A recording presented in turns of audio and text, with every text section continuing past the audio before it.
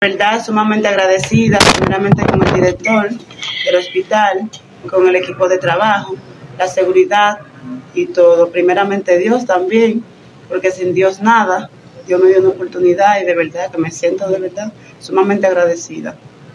Y tras permanecer 15 días ingresada en el hospital Vinicio Calventi, Ana Karina Ramos fue despachada hacia su casa con un aparato en su cuerpo que le ayudará a corregir las infecciones. Al ingresar a la sala en silla de ruedas y con los brazos inmovilizados, producto de las fracturas sufridas, Ana Karina Ramos afirmó que durante los días que pasó tirada en la cañada nunca estuvo sola, puesto que podía sentir tres ángeles que le acompañaban.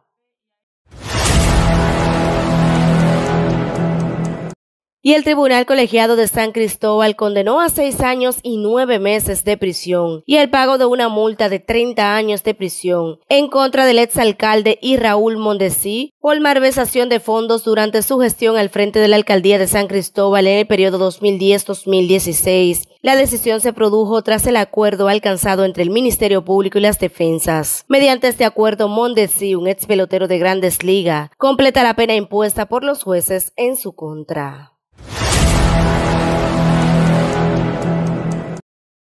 La persecución e investigación por delitos de corrupción estaría limitada a 20 años luego de cometidos los ilícitos de acuerdo al proyecto de ley de Código Penal aprobado en primera lectura en el Senado y que se encuentra bajo estudio en una comisión especial de la Cámara Alta. Según la iniciativa aprobada, los delitos de corrupción se extinguirán 20 años después de cometidos, por lo que el sistema de justicia dominicano no podrá indagar ni castigar los ilícitos administrativos si se cometieron dos décadas atrás. La prescripción de la corrupción establecida en el artículo 328 del proyecto ya estuvo estipulado en la misma iniciativa del Código Penal que se aprobó en 2022 en el Congreso, pero que nunca prosperó por diferencias ideológicas en temas como el aborto o la discriminación.